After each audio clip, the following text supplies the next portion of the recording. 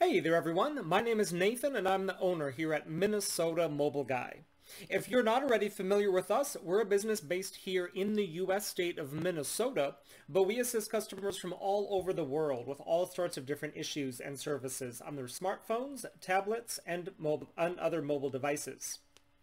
Now, one of the services that our customers most frequently ask us to perform is the SIM unlocking or network unlocking of a mobile device in order for it to be able to be used on a different wireless carrier or network.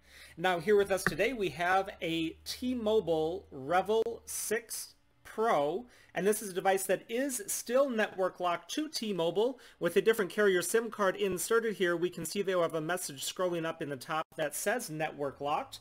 And then if we also swipe away the lock screen, hmm, why is it not working? There we go. We also have this pop-up message that says network locked and tells us to use T-Mobile's built-in unlock application in order to do that. So just like pretty much all other wireless or uh, mobile devices sold directly by a wireless carrier here in the US, this device comes network locked to T-Mobile by default and it has to be network unlocked in order to be used with a different compatible uh, wireless carrier or network.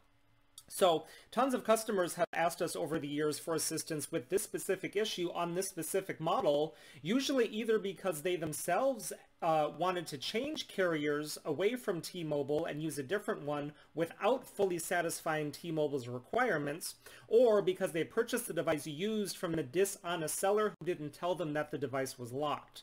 So in those cases, usually the seller either claims that it's already unlocked or that it's already eligible to be unlocked through T-Mobile and they just have to contact them, whatever the case may be.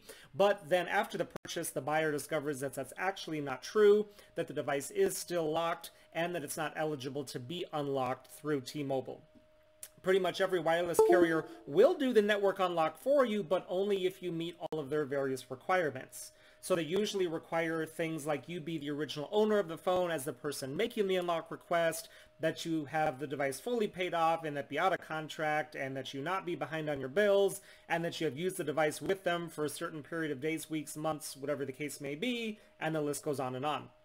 So we're making this video here today to show everyone that we do offer a service to be able to get the device network unlocked without having to go directly through T-Mobile and satisfy all of their various requirements. The procedure of us doing the unlock is something that we do directly to the phone while it is plugged into a computer. And the great thing about this is that it's something that can be done for just about anyone, anywhere in the world. So you don't necessarily need to be located here in our local area in order for us to be able to do this for you. You would just need to have a decently powerful Windows computer along with a fast internet connection, and we can remotely connect right to your computer through the internet and perform the exact same procedure that we're doing right here, right now. So actually, as I've been speaking, I've been running our unlock program here on the device that goes ahead and takes care of that for us. It needs just another minute or so here to finish running up. And then after that, we should be able to see that we no longer get those error messages on the device that we were seeing previously.